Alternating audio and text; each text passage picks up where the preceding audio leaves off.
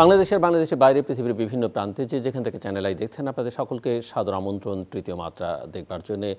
প্রিয় দর্শক, ধীরে ধীরে কোভিড পরিস্থিতির উন্নতির সঙ্গে সঙ্গে বাংলাদেশের রাজনীতির মাঠ অন্তত কথা, পাল্টা কথায় গরম হতে শুরু করেছে এবং আলোচনাটা অনেকটাই নির্বাচন কেন্দ্রিক। যদিও নির্বাচনের বাকি এখনও দু বছরের বেশি সময়, ইতিমধ্যেই আমরা যেটুকু জানি যে নির্বাচন কমিশনের মেয়াদ শেষ হয়ে যাচ্ছে আগামী ফেব্রুয়ারিতে। আর সরকারি দলের কার্যনির্বাহী সংসদের সভায় এই প্র- স- সরকারি দলের নেত্রী এবং সভানেত্রী প্রধানমন্ত্রী শেখ হাসিনা দলের নেতাকর্মীদের নির্বাচনের প্রস্তুতি প্রস্তুতি নিতে বলেছেন। অন্যদিকে অন্যদিকে বাংলাদেশ জাতীয়তাবাদী দল বিএনপি ও তার বিভিন্ন পর্যায়ের নেতৃবৃন্দের তিন দিন ব্যাপী যে সভা করেছে, সেখানটাতেও নির্বাচনের কথাই প্রধান হয়ে আলোচনায় উঠেছে। এবং সেখানে তাদের বক্তব্য হচ্ছে যে, কোনো অবস্থাতেই আর বর্তমান সরকারের অধীনে নির্বাচন নয়। নির্দলীয় নিরপেক্ষ সরকারের অধীনে নির্বাচন এবং নিরপেক্ষ নির্বাচন কমিশনের দাবিতে আন্দোলন করবা, করা ছাড়া কোনো বিকল্প নেই। সব আহ, কি ধরনের নির্বাচন বাংলাদেশ ইতিমধ্যে অভিজ্ঞতা সঞ্চয় করেছে এবং কি ধরনের নির্বাচন আসলে হওয়া দরকার এবং সেটি করবার জন্য কি করা দরকার? কেমন নির্বাচন কমিশন আসলে হওয়া দরকার? সেসব বিষয় নিয়ে প্রচুর আলোচনা বিভিন্ন সময়ে গত পঞ্চাশ বছরে বহু হয়েছে। এই আলোচনা এখনও চলছে ভবিষ্যতে হয়তো চলবে, কিন্তু এই আলোচনার একটা পরিসমাপ্তি দরকার। সেই বিষয় নিয়ে কথা বলবার জন্য আমার সঙ্গে দুজন অত্যন্ত খ্যাতিমান রাজনীতিক এই আলোচনায় যুক্ত হচ্ছেন, যারা যাদের দুজনেই বাংলাদেশের মুক্তিযুদ্ধের সঙ্গে নিবিড়ভাবে সম্পর্কিত। আমার সঙ্গে নিজ বাসভবন থেকে যুক্ত হচ্ছেন অধ্যাপক ডক্টর আবু সাইদ। বাংলাদেশ সরকারের সাবেক প্রতিমন্ত্রী, রাজনৈতিক দীর্ঘ অভিজ্ঞতা সম্পন্ন মানুষ এবং বাংলাদেশের সংবিধানের মূল সংবিধানের যারা খসড়া প্রণেতা, তাদের মধ্যে অন্যতম সেই স্বাক্ষরকারী সংবিধানের স্বাক্ষরকারীদের একজন।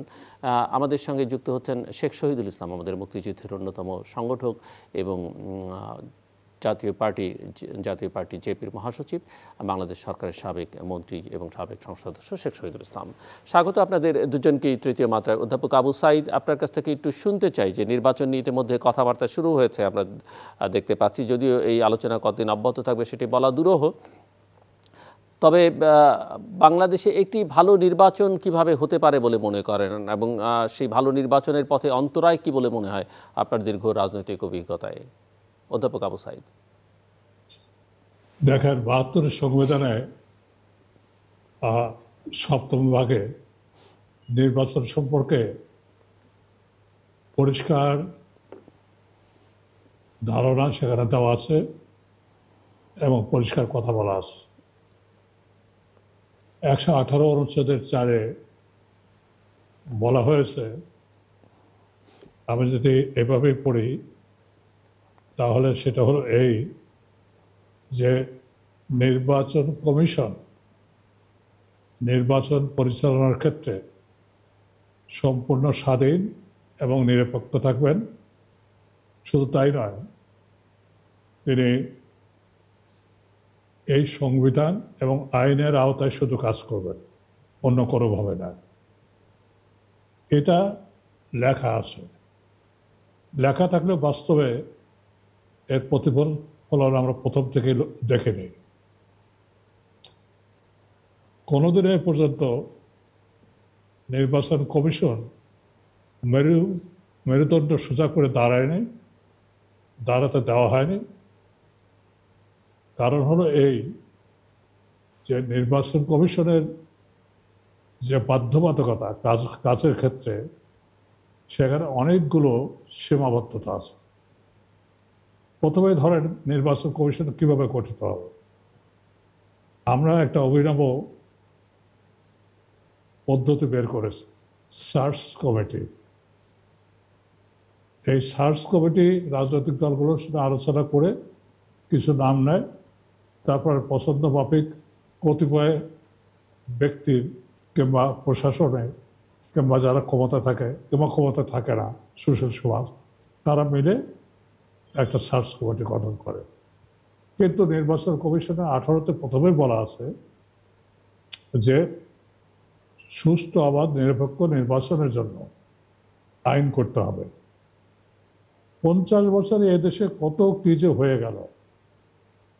কিন্তু নির্বাচন যেটা যেটা হলো মূল, একটা রাষ্ট্র পরিচালনার মূল একটা অন্যতম ভিত্তি, সেই ক্ষেত্রে কোনো আইন এ পর্যন্ত হয়নি। আইনমন্ত্রীর মুখে কয়েকদিন আগে শুনলাম আপনাদের মিডিয়ার কল্যাণে যে আইন করা হবে। তা আইন করা হবে কবে? বারো, তেরো, চোদ্দ আর পাঁচ, আঠারো বছর চলে গেল।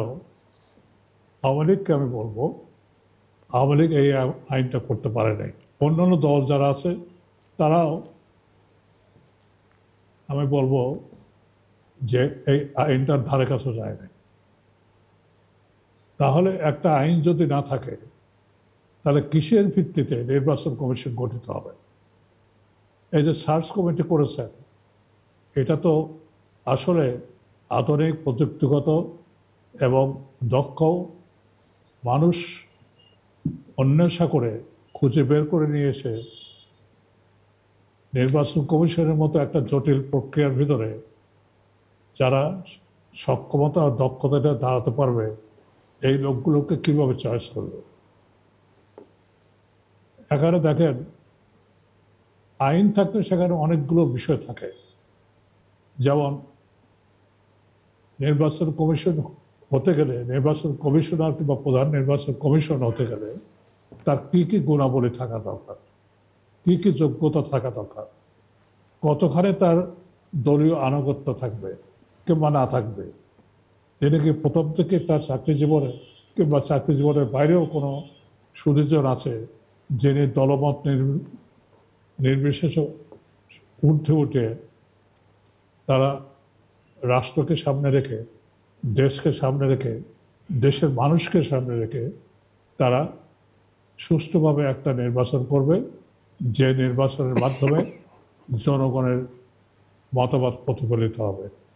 কারণ আমাদের সংবিধানের প্রথমে হলো এদেশের মালিক জনগণ।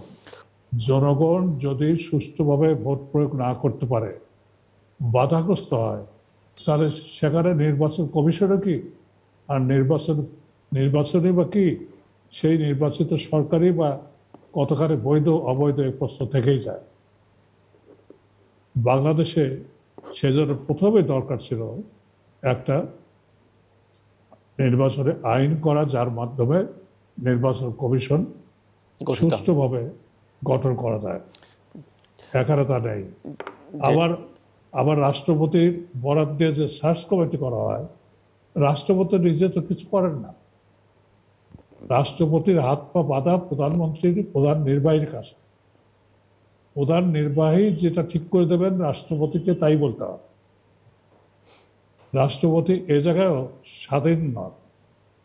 তিনি স্বাধীনভাবে চুজ করে যে দেবেন এবং দক্ষ এবং প্রশাসক যারা নির্বাচন পরিচালনা কিংবা আইনের সাথে সংশ্লিষ্ট মানুষ যারা নির্বাচনে আচার আচরণ বিধি বিধান বোঝেন কিংবা উপলব্ধি করেন, সেটা প্রয়োগ করতে পারেন, এরকম লোক তিনি কীভাবে বাছাই করবেন? তিনি অর্থাৎ দলীয় লোকই শেষ পর্যন্ত এদিক ওদিক করে নির্বাচন কমিশনের জায়গা করে নেয়। তো দলীয় লোক যদি নির্বাচন কমিশনের জায়গা করে নেয়, তাহলে সেই দলীয় কমিশন দিয়ে অবাধ, সুষ্ঠু, নিরপেক্ষ নির্বাচন হতে পারে না, হয় না। হয়নি এ পর্যন্ত।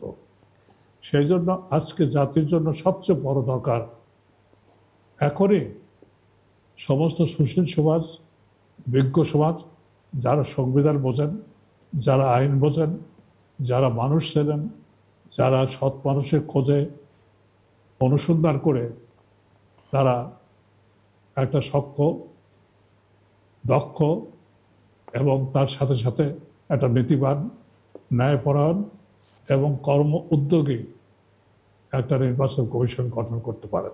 জি। সেটা আমরা ঘাটতি দেখতে পাচ্ছি। আমি আমি শুনব আরও আপনার কাছ থেকে। মিস্টার শেখ শহীদুল ইসলাম আপনি কি একটু ধারণা করতে পারেন কিনা? দু হাজার তেইশের শেষে কিংবা দু হাজার চব্বিশের শুরুতে যে নির্বাচন হওয়ার কথা সেই নির্বাচনটি আসলে কেমন হতে পারে? বর্তমান বাস্তবতায় ধারণা করা যায়? আমি আপনাকে একটা ঘটনা বলতে চাই। আপনার সঞ্চালনায় একটা সভা রাউন্ড টেবিল হয়েছিল একবার। দুই হাজার আঠারো সালের নির্বাচনের আগে। জি। এই নির্বাচনে আমি সেই সভাতে আমি একটা কথা বলেছিলাম আপনার মনে থাকার কথা যে নির্বাচনের ফলাফল যেখানে জানা যে কারা জয়লাভ করবে সেখানে আপনার ওই হেডিং ছিল ক্যান উই ভোট ফ্রিলি সেখানে বাকি প্রশ্নটা অবান্তর হয়ে যায়। তো সাইদ ভাই যে কথাগুলো বলেছেন ফলাফল জানার তো দুটো ব্যাপার আছে যে একটি হচ্ছে যে জনসমর্থনটাই বোঝা যাচ্ছে যে কে জিতবে আরেকটি হচ্ছে যে জনগণের সমর্থন অসমর্থনে কিছু যায় আসে না ভোটটা অন্য প্রক্রিয়ায় হবে। এখন কোনভাবে জানা সেটি সেটি খুবই গুরুত্বপূর্ণ আমি সাইদ ভাই যে কথাগুলো বলেছেন একটা সুষ্ঠু নির্বাচনের জন্য সংবিধান কোড করে এবং অন্যান্য রেফারেন্স দিয়ে। আমি একটা কথা বলতে চাই এখানে, যে দেখুন, যে দুই হাজার তেইশ সালে যে নির্বাচন হবে, সেই নির্বাচনের জন্য প্রস্তুতি শুরু করার কথা মাননীয় প্রধানমন্ত্রী বলেছেন। এবং সঙ্গে সঙ্গে আমরা দেখলাম যে বিএনপি তাদের বিভিন্ন পর্যায়ের নেতাদের নিয়ে বৈঠক করছে। বৈঠক তো বড় কথা নয়। বৈঠকে মূলত তারা কারও কাছ থেকে একটা কথা শুনতে চাচ্ছেন। সেই বৈঠকের মূল হোতা যিনি যিনি মূল কারিগর, তিনি কিন্তু দেশের ভেতরে নাই, বাইরে আছে। তাকে শোনানোর জন্যই ওই সকল আয়োজনগুলো হয়েছে। তো আমি যেটা বলতে চাই যে, দেখুন, দেশের রাজনীতি বাইরে নির্বাচন নয়। এবং দেশের রাজনীতি যদি একটা সুষ্ঠু ধারার মধ্যে দিয়ে প্রবাহিত না হয়, সেক্ষেত্রে নির্বাচন বলুন, সরকার পরিচালনা বলুন, কোনোটাই কিন্তু সুষ্ঠু এবং সুন্দর হতে পারে না। আমার কাছে যেটা মনে হচ্ছে যে, এই যে আমাদের দেশের বর্তমান রাজনৈতিক প্রক্রিয়া, এই রাজনৈতিক প্রক্রিয়া কিছুটা অসুস্থ। কিছুটা নয়, অনেকটাই অসুস্থ। অসুস্থ আমি এজন্য বলি যে প্রথমত এখন যে দল শাসন করছেন, সেই দল যে নির্বাচনের মাধ্যমে ক্ষমতায় এসছেন উনিশশো, দুই সালে, সেই নির্বাচন নিয়ে নানান ধরনের প্রশ্ন উত্থাপিত হয়ে আছে। দ্বিতীয়ত যে যারা বিরোধী দলে থাকার কথা, এই এই রাজনীতিতে আমরা দেখলাম যে তারা একবার নির্বাচন বয়কট করেন আর একবার নির্বাচনের পক্ষে যান এবং এক এক আসনে তিনজন, চারজন করে মনোনয়ন দিলেন এবং শেষ পর্যন্ত দেখা গেল যে তাদের আটজন না নয়জন নির্বাচিত হয়েছেন। তখন তারা বললেন যে আমরা শপথ নেব না। এবং তারা পরবর্তীতে শপথ নিলেন। শপথ নেওয়ার পরে বললেন যে আমরা সংসদে যাব না।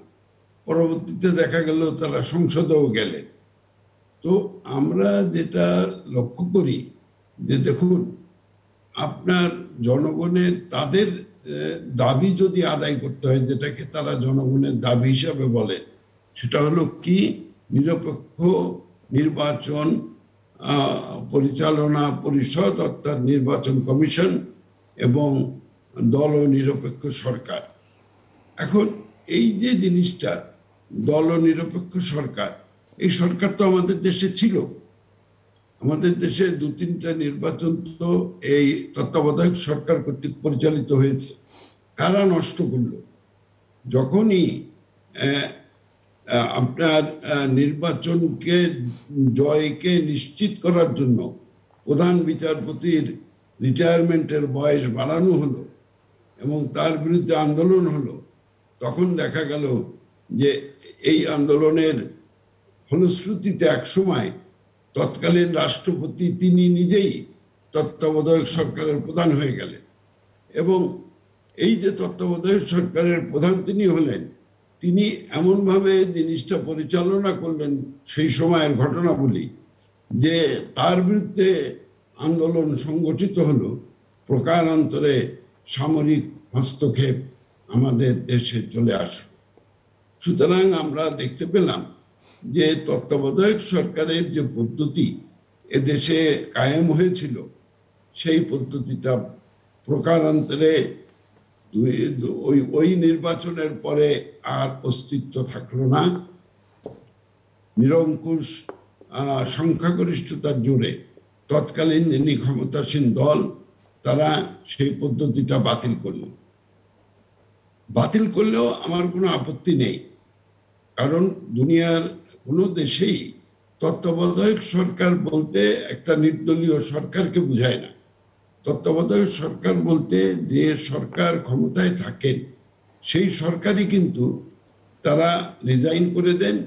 পরে মনার্ক বা রাষ্ট্রপতির অনুরোধে তারা পরবর্তী সরকার নির্বাচিত না হওয়া পর্যন্ত তাদের কার্য পরিচালনা করেন।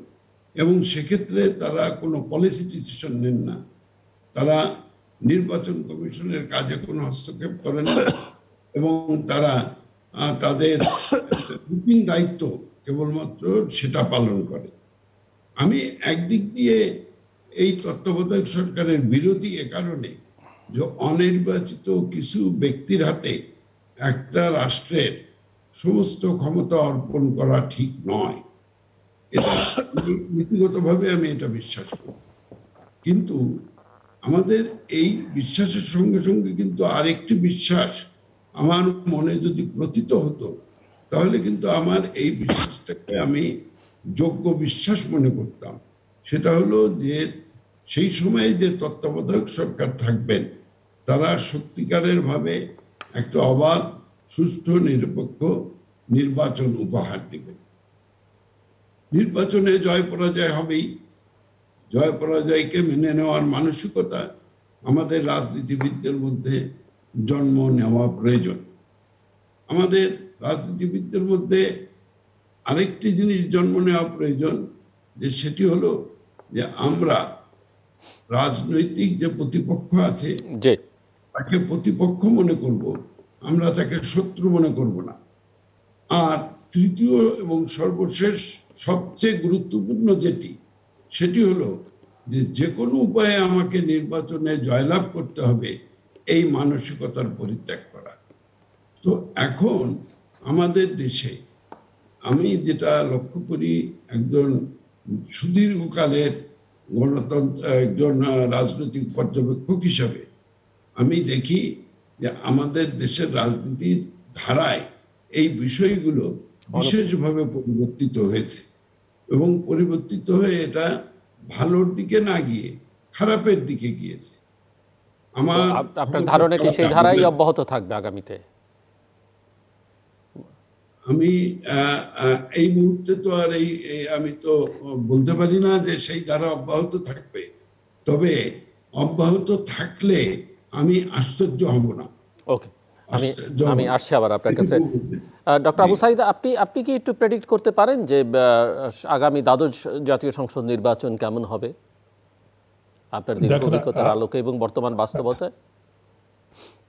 আমি এ প্রসঙ্গে বাংলাদেশ সুপ্রিম কোর্টে সম্প্রতি আহ,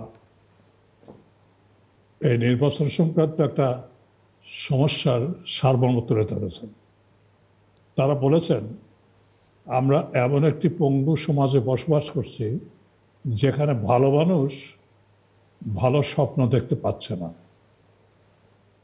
তারা বলছে যে রাজনীতি এখন বাণিজ্যে পরিণত হয়েছে। তারা আরও বলছেন, মেধার পরিবর্তে ক্ষমতার মাধ্যমেই আজ সরকারি অফিস, আদালত এগুলো প্রচলিত হচ্ছে এবং চলছে। এবং নির্বাচন কমিশন এখন পর্যন্ত কাঠামোগত দিক দিয়ে, আইনগত দিক দিয়ে শক্তিশালী হয়ে ওঠেনি। তাহলে আমরা এই ভিতরেই আরও তারা বলেছেন যে দেশের ধনিক বণিক শ্রেণি শুধু বাণিজ্যের আশায় রাতারাতি রাজনীতিকে বাণিজ্যিকরণ করার জন্য সংসদ সদস্য হন। সেই দেশে একটা নির্বাচন অবাধ সুষ্ঠু নিরপেক্ষ করা যে কঠিন ব্যাপার, সেই ব্যাপারটা চ্যালেঞ্জ নেবে কে? এই চ্যালেঞ্জটা নিতে হবে জনগণকে। কিন্তু জনগণ তো আগে একটু আগে রায় বললাম বঙ্গ সমাজে আমরা বসবাস করছি। জনগণ ঘুমিয়ে আছেন পাকিস্তান আমলে এরকম জনগণ ঘুমিয়েছিল। তার ঘুম ভাঙা ভাঙানিয়া অবস্থা থেকে জাগাতে জাগাতে আমাদের দীর্ঘদিন লেগেছে, তারপরে আমরা বাংলাদেশ স্বাধীন করেছি। আজকে পঞ্চাশ বছর যায়, আমরা এ পর্যন্ত একটা রাষ্ট্রীয় কাঠামোকেও, সাংবিধানিক কাঠামোকেও শক্তিশালী করতে পারলাম না। এবং এই শক্তিশালী করার প্রথম যেটা দরকার ছিল, সেটা হলো আমি মনে করি নির্বাচনকে, নির্বাচন কমিশনকে শক্তিশালী করা দরকার ছিল। কারণ জনগণের মতামত সুষ্ঠুভাবে প্রতিফলিত হওয়ার জন্য, প্রতিফলিত করার জন্য যে পদ্ধতি, প্রক্রিয়া এবং আইন, বিধিবিধান করা দরকার এবং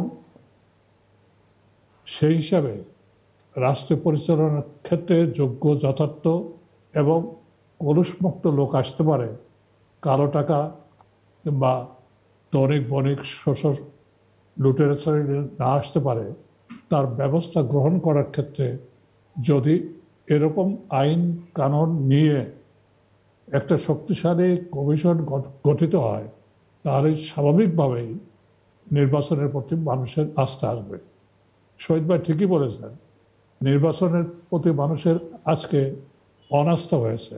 আপনি বলেছেন যে নির্বাচনে তো ভোট হয়ে এমনি হয়ে যায়। যে কথাগুলো বলা হয়, আমি ওগুলো বলতে চাই না।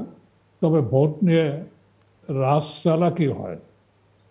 এই যে রাজ চালাকি হয়, এই রাজ চালাকি বন্ধ করার জন্য আজকে আমাদের সংবিধানের এসে পর্যালোচনা যদি আমরা করি দেখব আমাদের সংবিধানের সমস্ত ক্ষমতা এককেন্দ্রিক এবং এক ব্যক্তির হাতে চলে গেছে। সেজন্য তিনি যেভাবে চান, রাষ্ট্র সেইভাবে পরিচালিত হয়।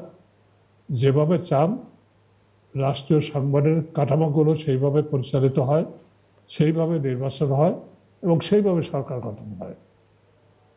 অমর্ত্য সেন এ সম্পর্কে তার বইতে বলেছেন, এই ধরনের ব্যবস্থাপনা এবং ব্যবস্থার ভিতরে যে সমস্ত রাজনৈতিক দ্বন্দ্ব কলহ সৃষ্টি হয় এগুলো আলটিমেটলি নৈরাজ্য এবং সর্বশেষ স্বৈরতন্ত্রকে টেনে নিয়ে আসে। যে বাংলাদেশে আজকে রাজনীতির ক্ষেত্রে এক কেন্দ্রিক একটা ব্যবস্থা হওয়ার পরে যে যাই বলুক না কেন একাডেমিক্যালি ডিসকাশন করলে এটাই দেখব যে এক ব্যক্তি হাতেই সমস্ত ক্ষমতা তিনি কারও কারও কাছে জবাবদিহি করেন না। জবাবদিহি করার জায়গা কিন্তু হলো সংসদ। কিন্তু সংসদের ক্ষেত্রে তিনি যাদের মনোনয়ন দিয়ে নিয়ে আসেন দলীয় প্রধান থাকার ফলে, তারা তার বিরোধিতা করতে পারেন না এবং জবাবদিহিতা চান না। জবাবদিহিতা দেওয়ার প্রয়োজনও প্রধান নির্বাহী, যিনি প্রধানমন্ত্রী থাকেন, তিনি মনে করেন না। কারণ হল এই যে দল থাকবে দলীয় প্রধান যদি একই সাথে রাষ্ট্রের নির্বাহী প্রধান হয়, তাহলে সেই জায়গায় দুটো মিলে স্বৈরতন্ত্রের একটা অবস্থার সৃষ্টি হবে। এর থেকে বেরিয়ে আসার উপায় কি? এর থেকে কি আমরা বেরিয়ে আসতে পারব? আমরা অনেক অসাধ্য সাধন করেছি। আমার বিশ্বাস যে আমরা অবশ্যই পারব। এই পারতে গেলে যে জিনিসগুলো একটু আগে শহীদ ভাইজি বলেছেন, পরবত সহিষ্ণুতা দরকার। পারস্পরিক আস্থা সৌহার্দ্যপূর্ণ একটা পরিবেশ দরকার। এবং কেউ শত্রু নয় পরস্পর। ভিন্ন মতাদর্শী হলেই যে শত্রু হবে, এমনটি নয়।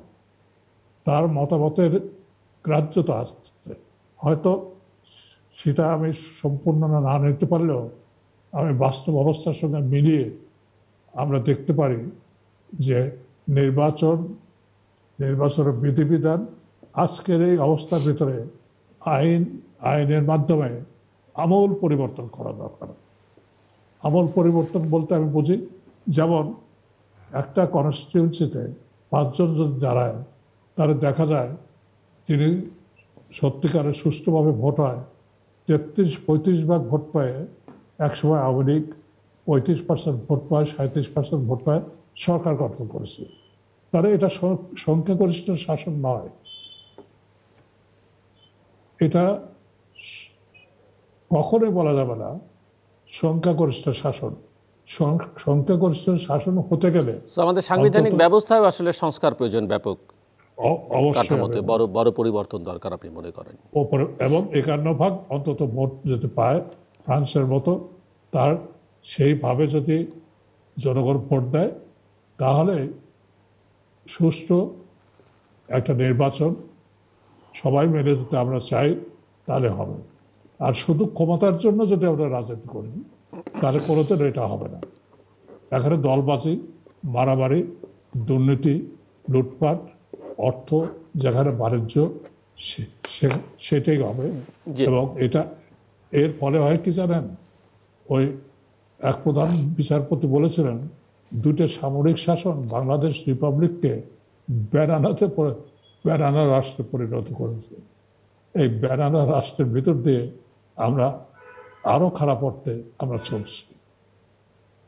সো মিস্টার শেখ শহীদুল ইসলাম যেটি বোঝা যায় যে রাজনীতিবিদদের আম, আম, মনস্তত্ত্বে যদি পরিবর্তন না আনতে পারেন মানসিক গড়নে চিন্তা ভাবনায় তাহলে আসলে কোনো কিছুতেই কোনো পরিবর্তন আনা আসলে সম্ভব হবে না। তো সেটির জন্য আসলে কি করা দরকার? আমি অধ্যাপক আবু সাইদের বক্তব্যের সঙ্গে একটু দ্বিমত পোষণ করতে চাই। সাইদ ভাই তার বক্তব্যে অধিকাংশ ক্ষেত্রে তিনি সংবিধান, সংশোধন নির্বাচন কমিশনকে শক্তিশালীকরণ এবং কিছু প্রাতিষ্ঠানিক পরিবর্তনের কথা বলেছেন। দেখুন, আমাদের নির্বাচন কমিশন সম্পর্কে ভারতীয় প্রধান নির্বাচন কমিশনার টি এস ট্যান্ডনের একটা বক্তব্য আছে। তিনি বলেছিলেন যে, আপনাদের যে নির্বাচন কমিশন আইন, এটা ভারতের নির্বাচন কমিশন আইনের চাইতেও শক্তিশালী। আপনার নির্বাচন কমিশন যেটা পারে না, সেটা পুরুষকে মহিলা বানাতে আর মহিলাকে পুরুষ বানাতে। আর তাছাড়া সব ক্ষমতা তাদের দেওয়া আছে। অতএব আইনে যে খুব মানে ডিফেক্ট আছে, আইনে যে ত্রুটি আছে, আমি সেটা মনে করি না। দ্বিতীয়ত হলো সংবিধান। আমাদের সংবিধান বাংলাদেশের সংবিধান যেটা উনিশশো বাহাত্তর সালে প্রণীত হয়েছিল, তা অনেকাংশে রেস্টোর্ড হয়েছে এবং আমি মনে করি যে আমাদের সংবিধানে যে নিয়ম কানুনগুলো লেখা আছে সেই নিয়ম কানুনগুলো খুব খারাপ নয়। কথা হলো, আমি সাইডের সঙ্গে যে বিষয়ে দ্বিমত পোষণ করতে চাই, যে এই প্রতিষ্ঠানগুলিকে কখনোই শক্তিশালী করা হয় না নির্বাচন কমিশন প্রতিষ্ঠান হিসাবে শক্তিশালী নয়, যদিও আইনগত ক্ষমতা বা সব কিছু তাদের আছে।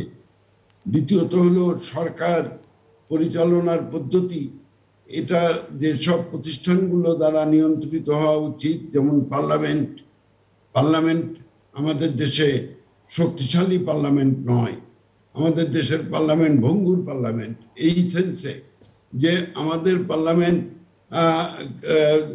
গুরুত্বপূর্ণ বিষয়গুলিতে এই প্রস্তাবের পক্ষে যারা আছেন তারা হাঁ বলুন, আর বিপক্ষে যারা আছেন না বলুন, এই ছাড়া আমাদের পার্লামেন্টের যে ডিবেট সেই ডিবেটের কোয়ালিটি যদি আপনি দেখেন, দেখবেন যে ডিবেটগুলো অত্যন্ত নিম্নমানের এবং সেই ডিবেটগুলোতে দেশ এবং জনগণের কথা, সমস্যা ইত্যাদি উঠে আসে না। একটা সরকারি দলের লোকও কিন্তু তার আলোচনায় বিভিন্ন বিষয়ের অবতারণা করতে পারেন ইচ্ছা করলে। আমাদের দেশে সেই বিষয়গুলোর অবতারণা ঘটে না। তার মানে কি? তার অর্থ হলো, আমরা যদি গোড়ায় যাই, তাহলে আমাদের গলতটা কোথায়? গলতটা হলো, আমি মনে করি আমাদের সাইদ ভাই যেমনি বলেছেন যে গলতটা হলো দুর্বল নির্বাচন কমিশন, দলীয় সরকার ইত্যাদি, আমি সেটাকে মনে করি না। আমি মনে করি যে গলতটা আমাদের রাজনীতিতে। এবং এই আমাদের দেশের রাজনীতিটা একটা আমূল সংস্কার প্রয়োজন। এই যে ব্যবসায়ীরা রাজনীতিকে বাণিজ্যকরণ করছেন, মনোনয়ন বাণিজ্য হচ্ছে প্রত্যেকটা নির্বাচনের আগে। আমরা দেখি নির্বাচনে যারা মনোনয়ন পান, তাদের অর্থ বিত্ত এবং মাসেল পাওয়ারের দিকে বেশি মনোনয়নের সময় গুরুত্ব দেওয়া হয়। এটা যে কেবল ক্ষমতাসীন দলে তা নয়। এটা বিরোধী দলের ক্ষেত্রেও সমভাবেই প্রযোজ্য। বরঞ্চ আমরা এই রাজনীতিটিকে যদি আমরা ঠিক করতে না পারি, কারণ সংবিধান বলেন, নির্বাচন কমিশন বলেন, আইন যেটাই বলে এর পরিচালনাকারী হলো মানুষ। সেই মানুষটি যদি সঠিক না হয়, সেই মানুষটি যদি পারফেক্ট না হয়, একজন রাজনীতিবিদ, সেই ধরনের রাজনীতিবিদ না হন যিনি জনকল্যাণের কথা চিন্তা করবেন, দেশের কল্যাণের কথা চিন্তা করবেন, নিজের স্বার্থকে বিসর্জন দেবেন, ত্যাগ শিকারে প্রস্তুত থাকবেন, ক্ষমতা হারানোর ভয়ে ভীত থাকবেন না, এবং যিনি দেশের কল্যাণ এবং উন্নয়নের জন্য কাজ করবেন, যিনি অর্থ সম্পদের মালিক হওয়ার চেষ্টা করবেন না, সম্পদ বা লুণ্ঠনের অর্থনীতি চালু করবেন না, এই ধরনের যদি একটা রাজনীতি আমাদের দেশে আমরা না আনতে পারি, তাহলে কিন্তু এই কেবলমাত্র আক্ষরিক কিছু পরিবর্তন আইনে এনে বা সংবিধানে এনে আমরা আমাদের যে লক্ষ্যটা অর্জন করতে চাই, যে একটা সুস্থ স্বাভাবিক গণতান্ত্রিক ধারা, সেই ধারাটা আমরা চালু করতে পারব না। সেজন্য আমি সবসময় যেটা বলি সেটা হলো আমাদের তিনটি কাজ করা খুবই এখন গুরুত্বপূর্ণ। একটা হলো রাজনৈতিক সংস্কৃতিতে একটা পরিবর্তন এবং সেই পরিবর্তনটা হওয়া উচিত এমনভাবে যাতে করে আমরা দেশের বিজ্ঞজন যারা মেধাবী যারা আমাদের দেশ সম্পর্কে, দেশের মানুষ সম্পর্কে কল্যাণ করতে পারবেন, পরিকল্পনা করতে পারবেন, তাদেরকে রাজনীতিতে আনতে পারি। সেই ধরনের একটা রাজনৈতিক পরিবেশ আমাদের দেশে প্রথম সৃষ্টি করা প্রয়োজন। দ্বিতীয় হলো আমাদের এমন নেতৃত্বের প্রয়োজন যে নেতৃত্ব ত্যাগ স্বীকার করতে রাজি। আজকে বাংলাদেশে দেখুন উনিশশো একাত্তর সালের সাতই মার্চের ভাষণে জাতির জনক বঙ্গবন্ধু একটা কথা বলেছিলেন, আমি প্রধানমন্ত্রিত্ব চাই না, আমি এদেশের মানুষের অধিকার চাই। আজকে কি কোনো একটি ব্যক্তি আছে যিনি এই কথাটি বলতে পারবেন যে আমি প্রধানমন্ত্রিত্ব চাই না, আমি দেশের মানুষের অধিকার চাই।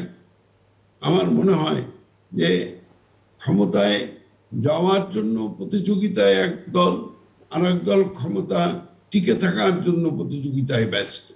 এবং এই যে প্রতিযোগিতা, এই প্রতিযোগিতার আমি কোনো দোষ দেখি না। রাজনীতি তো এটা আমরা কোনো রামকৃষ্ণ মিশনের সদস্য নই। আমরা আঞ্জুমানে মফিদুল ইসলামেরও সদস্য নই। আমরা তো ক্ষমতায় যাওয়ার চেষ্টা করবোই রাজনীতিবিদরা। কিন্তু যে পদ্ধতিতে ক্ষমতায় আমরা যেতে চাই সেই পদ্ধতি আমি মনে করি না যে খুব। সুষ্ঠু ধারা আছে। এখানে যারা সরকারি দলে আছেন তারা স্বাভাবিকভাবেই সরকারে থাকতে চাইবেন। আর বিরোধী দলে যারা আছেন তাদের স্বাভাবিক কাজ হবে জনগণকে সংগঠিত করে এই সরকারকে যদি আহ, জনসমর্থনহীন করা যায় তাহলে করে ক্ষমতায় আসা। কিন্তু আমরা দেখি না আমাদের রাজনীতিতে একটা বিরাট উপাদান এসে জড়ো হয়েছে সেটা হলো ষড়যন্ত্র। আমরা দেখি দেশের বাইরে বসে আমাদের কিছু সংখ্যক তথাকথিত রাজনীতিবিদ তারা ষড়যন্ত্র করেন দেশকে পরিচালনা করতে চান। আমরা দেখি দেশের বাইরে কিছু মিডিয়া এবং আজকে আমার কাছে দু একটা তার ভিডিও এসছে যে কথা হচ্ছে যে একজন সাংবাদিককে বিএনপির একজন নেতা বলছেন, আপনাকে টাকা দেওয়া হলো, পয়সা দেওয়া হলো, আপনি জয়ের নামে একটা স্ক্যান্ডাল সৃষ্টি করবেন, আপনি সেটা করতে পারেন নাই।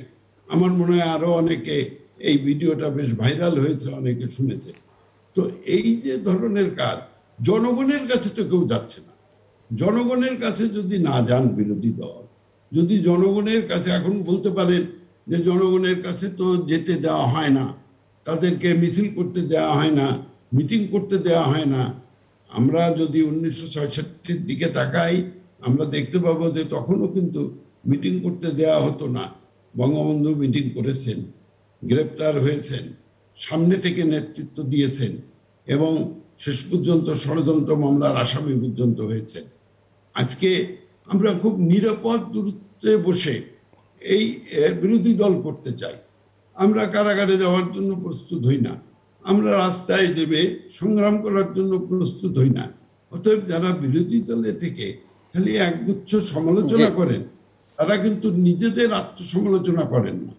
আর সরকারি দলেরও উচিত আমার মতে যে তাদের একটা পর্যালোচনা করা উচিত। তাদের যারা এখন সংসদ সদস্য আছেন, কি তাদের কার্যকলাপ, কি তাদের হীনমন্যতা, তাদের মধ্যে ঘরে ঘর, নিজেদের ঘর থেকে তাদের শুদ্ধি অভিযানটা করা উচিত। সরকারি দলে যারা আছেন, তারা যদি মনে করেন যে তারা আগামী নির্বাচনে নিশ্চিত জয়লাভ করবেন, সেটা ঠিক নয়। হয়তো জয়লাভ করবেন, কিন্তু তাদেরকে তাদের প্রার্থী যে মনোনয়ন সে মনোনয়নের ক্ষেত্রে আরও বুদ্ধিমত্তার পরিচয় দিতে হবে। ধন্যবাদ। যারা লুটপাটের অর্থনীতি চালু করেছে যারা ব্যবসায় বাণিজ্যকরণ করছে রাজনীতিকে তাদের বাদ দিতে হবে। কিছুদিন আগে গফর চৌধুরী সাহেব একটা নিবন্ধে বলেছেন যে আওয়ামী লীগের উচিত কমপক্ষে পঞ্চাশ ভাগ তাদের সংসদ সদস্যকে বাদ দেওয়া। আমার তো মনে হয় এই সংখ্যাটা পঁচাত্তর ভাগ যদি তিনি বলতেন তাহলে আরও বেশি ধন্যবাদ। ধন্যবাদ। প্রফেসর আবু সাইদ। যে শহীদ ভাই যে কথাগুলো বলেছেন আর আমি যে কথাগুলো বলেছিলাম তার ভেতর পার্থক্য খুব একটা নাই। উনি যে কথাগুলো বলেছেন রাজনীতির কথা সামনে নিয়ে এসছে আসলে রাজনীতি বলেন, অর্থনীতি বলেন, সমাজনীতি বলেন, সব কিছু মিলেই রাজনীতি। রাজনীতির বাইরে কিন্তু কিছু নেই। রাজনীতির ভিতরেই সব কিছু আছে, এটা মনীষীরা আছে আমি এসব নিয়ে বিতর্কে যাব না, দার্শনিক কথা আছে, অনেক কথা আছে, এগুলো যাক।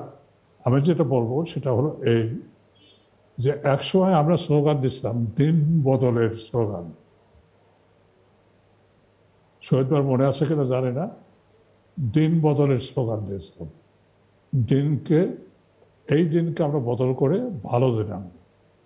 এখন দেখা দেখা যাচ্ছে দিনে দিনে দিন বদল তো হচ্ছে না, আরও রাত্রির ঘন অমনুষ্যার দিকে আমরা ধাবিত হচ্ছি। দিন বদল হলো না।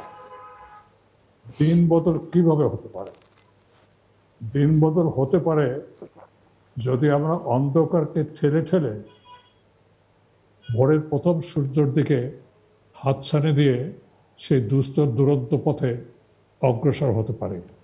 তাহলে কেবলমাত্র দিন বদল হতে পারে। যেটা শহীদ ভাই বলেছেন, আমরা সে, সেই পথে হাঁটছি না, সেই পথে যাচ্ছি না, এবং সেই ত্যাগ তিতিক্ষা সংগ্রাম সেই সেই দিকে অগ্রসর হচ্ছে না। এর সাথে আমি একমত। তবে আমি যেটা নির্বাচন সম্পর্কে বলতে চাই, যে আমাদের নির্বাচন যে ব্যবস্থা আছে সেটা কিন্তু রাজনীতির ঊর্ধ্বে না। আজকে যদি আইন করা হয়, যেমন সংবিধান যখন রচনা শুরু হয়, খসড়া সংবিধানের সময় সত্তর অনুচ্ছেদ নিয়ে কিন্তু বিতর্ক উঠেছিল। পার্লামেন্ট প্রসিডিংস যদি দেখেন, দেখবেন তখনও কিন্তু বিতর্ক উঠেছিল। এবং সেই বিতর্কের ভিতরে যে বিষয়গুলো ছিল সেটা হল এই যে বাঙালির যে মানসিকতা, সেই মানসিকতার ভিতরে উনিশশো চুয়ান্ন সনে যে ধরনের ঘটনা ঘটল, ছাপ্পান্ন সনে এসে তিন দিনে দুই, দুইবার সরকার পরিবর্তন হলো এবং পরবর্তীকালে দেখা গেল যে অর্থ, স্বার্থ লালসার জন্য স্বাধীন, সার্বভৌম, অখণ্ড বাংলার যে কথা ছিল সেই জায়গাটা সারদে সাহেব হেরে গেলেন। ভোটের জন্য টাকা দিতে পারেন নাই সেজন্য। এগুলো আমি বলছি না। তাহলে সত্তর অনুচ্ছেদ থাকা, না থাকা নিয়ে পক্ষ বিপক্ষ আসেই তার ভিতরে যে কথাটা আপনি বলেছেন, আমি একমত।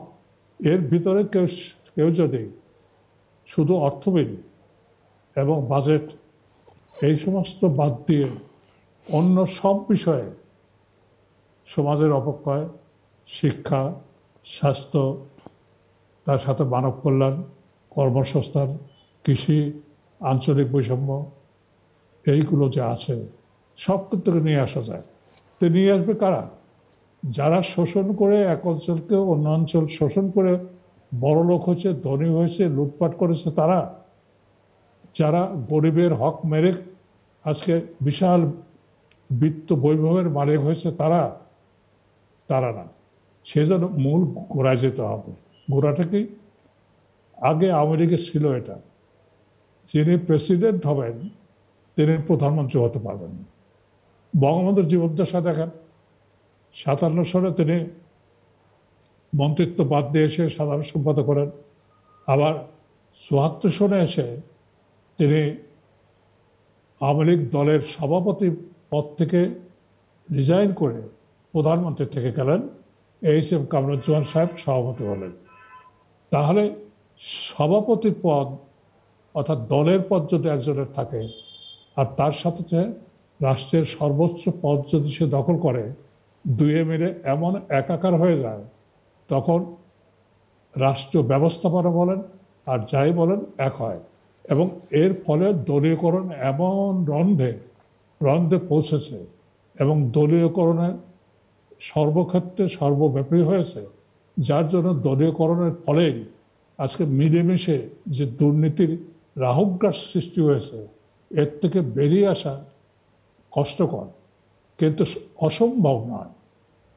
কিছু মানুষ যদি শক্তি নিয়ে দাঁড়ায়, বুকে সাহস নিয়ে দাঁড়ায় এবং তাদের সততার ব্যাপারে প্রস্তুতা প্রস্তুত যদি না থাকে, তাহলে এই মানুষগুলোই কিন্তু দিনকে বদলে দিতে পারে, নতুন দিন আনতে পারে, নতুন সূর্যের আলোকে নিয়ে আসতে পারে। সেজন্য আমাদের সবগুলো যেটা বলছি আমি, যে সিস্টেমটা পরিবর্তন করা দরকার। যেটা বঙ্গবন্ধু বারবার বলেছে, এই সেক্রেটারিটের ভিতরে সমস্ত ক্ষমতায় একমত রেখে আপনি গণতন্ত্র চর্চা করবেন? হবে না। আজকে আমাদের শাসনে একটা কেন্দ্র সরকার যদি ধরি আর একটা স্থানীয় সরকার যদি ধরি স্থানীয় সরকারকে সম্পূর্ণভাবে নেগেট করা হয়েছে।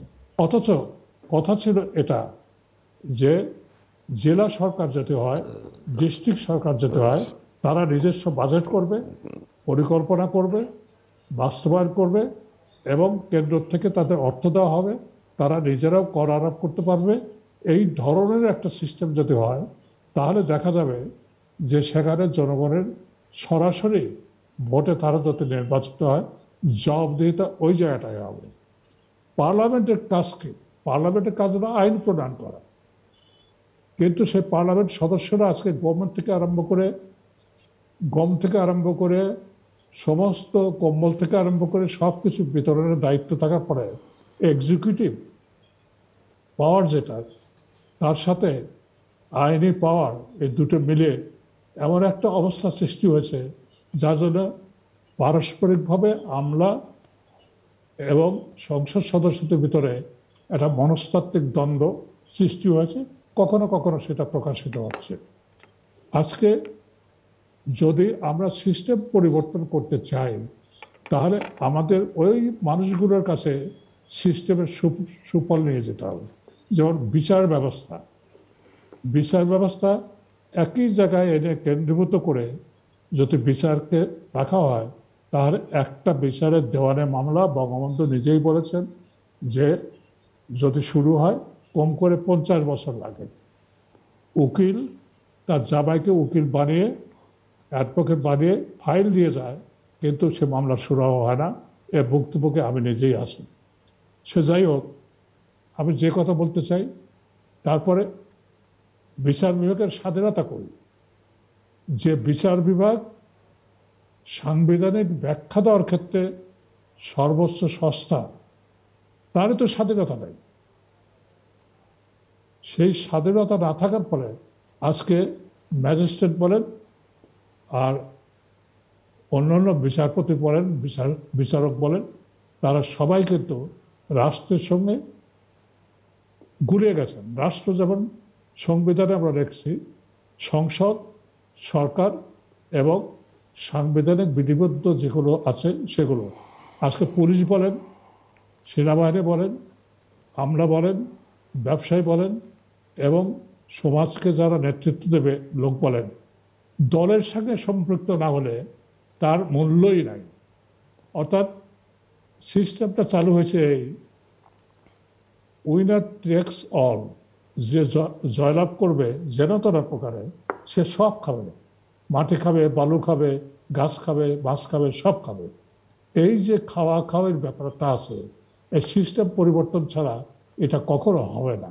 কেন্দ্রভূত শাসন ব্যবস্থা, এক কেন্দ্রিক শাসন ব্যবস্থা জন্ম দেয় এবং স্বৈরতন্ত্র ফ্যাসিবাদের জন্ম দেয়। ইতিহাস তাই বলে। তাই যদি হয়, তাহলে সেই এক কেন্দ্রিক শাসন ব্যবস্থার মূলে আমরা যাতে আঘাত না করি কিংবা পরিবর্তন না করি তাহলে বাংলাদেশ থেকে এই ধরনের অবস্থা দূরভূতি করা খুব ধন্যবাদ আমরা একটু আহ, শেষের দিকে চলে এসেছি। দু তিন মিনিট সময় mister Sheikh Shahidul Islam just conclude করবার জন্য। আমি আমি মনে করি যে সাইদ ভাই আমি যে বিষয়টার অবতারণা করেছিলাম ঠিক সেই জায়গাটাই এসছেন। এই যে যে পরিবর্তন, এই পরিবর্তনটা যদি আমাদের আনতে হয়, তাহলে সেটার জন্য আমাদের যেটা বড় প্রয়োজন সেটা হলো রাজনীতিতে একটা গুণগত পরিবর্তন, আমাদের রাজনৈতিক সংস্কৃতির একটা গুণগত পরিবর্তন এবং রাজনৈতিক সংস্কৃতির এই গুণগত পরিবর্তন যদি আনতে হয়, তাহলে এই পরিবর্তনের জন্য যারা কাজ করবেন, যারা এই পরিবর্তন সংগঠিত করবেন, তাদেরকে অবশ্যই বাংলাদেশের মানুষের কাছে যেতে হবে। কেবলমাত্র আমরা এই টকশো করে বা কেবলমাত্র আমরা এই এই, এইভাবে কিছু আলাপ আলোচনা করে এই যে বিএনপি কিছু আলাপ আলোচনা করছেন রিজবি ব্রডকাস্টিং সেন্টার থেকে তিনি মাঝে মাঝে ভাষণ দেন বা এই প্রেস ক্লাবের মধ্যে মির্জা ফখরুল ইসলাম আলমগীর জন পঞ্চাশেক লোক নিয়ে প্রতিদিন আন্দোলনের হুমকি দেন। এই সব হুমকি এই সব কথাবার্তা, এগুলো জনগণ একটুও বিশ্বাসও করতে চায় না এবং এরা কোনো পরিবর্তন আনতে সক্ষম হবেন, এটাতে তাদের কোনো বিশ্বাসও নেই। সুতরাং আমি যেটা মনে করি যে আমাদের রাজনীতির গুণগত পরিবর্তন আনতে হলে যারা ক্ষমতাসীন আছেন, তাদেরকেই প্রথমে অগ্রণী ভূমিকায় অবতীর্ণ হতে হবে। কারণ তারা বঙ্গবন্ধু সৃষ্ট রাজনৈতিক দল। সেই রাজনৈতিক দল, যে রাজনৈতিক দল গণতন্ত্রের ভিত্তিতেই উনিশশো সত্তরের নির্বাচনের মাধ্যমে দেশ ঐক্যবদ্ধ করেছিলেন। সেই রাজনৈতিক দল, যে রাজনৈতিক দল বাংলাদেশের স্বাধীনতা সংগ্রামের নেতৃত্ব দিয়েছিলেন, আজকে সেই রাজনৈতিক দলকেই এই ক্ষেত্রে অগ্রণী ভূমিকা পালন করতে হবে এবং তাদেরকে আত্মসংশোধন করতে হবে, তাদেরকে আত্মশুদ্ধি করতে হবে এবং তাদের যে গুণ তাদের যে ধারণাগত বিষয়গুলো, সেগুলো পরিবর্তন আনতে হবে। আমি সাম্প্রতিককালে কিছু পরিবর্তন দেখে খুশি হয়েছি। যেমন- যেমন দুই একটা নির্বাচনে আগে দেখা যেত যিনি এমপি থাকতেন তার ছেলে নমিনেশন পেত। এখন তা পায় না। এখানে দেখি আওয়ামী লীগের নেতা কর্মী একজন নমিনেশন পেয়েছেন এখন দেখি একজন গুণী ব্যক্তি নমিনেশন পেয়েছেন। সাম্প্রতিককালে এই ব্যবস্থাগুলো কিন্তু আওয়ামী লীগ একটু শেষ শেষ করতে হবে সেই জন্যই আমি আমার শেষ কথাটি যেটি বলতে চাই যে দেখুন রাজনীতি থাকবে দেশ রাজনীতিবিদরাই পরিচালনা করবেন।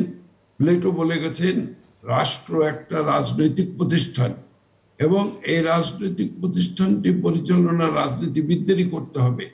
কিন্তু সেই রাজনীতিবিদ যেন সত্যিকারের রাজনীতিবিদ হন, জনকল্যাণমুখী রাজনীতিবিদ হন, সেই রাজনীতিবিদ যেন ত্যাগ স্বীকারে প্রস্তুত রাজনীতিবিদ হন এবং সেই রাজনীতিবিদ যেন নিজের ভাগ্যের পরিবর্তে দেশ এবং জনগণের ভাগ্য করতে আগ্রহী হন। আমি আমার শেষ কথাটি বলতে চাই এইভাবে যে দেখুন, আমাদের দেশ অনেক ত্যাগ এবং তিতিক্ষার বিনিময়ে অর্জিত একটি দেশ। এই দেশ আজকে অর্থনৈতিকভাবে অনেক অগ্রসর হয়েছে। কিন্তু আজকে যে কথাটি বলা হচ্ছে শেষ- করতে হবে, please. যোগদান দিতে হবে এই কথাটাই আমি বিশ্বাস করি না।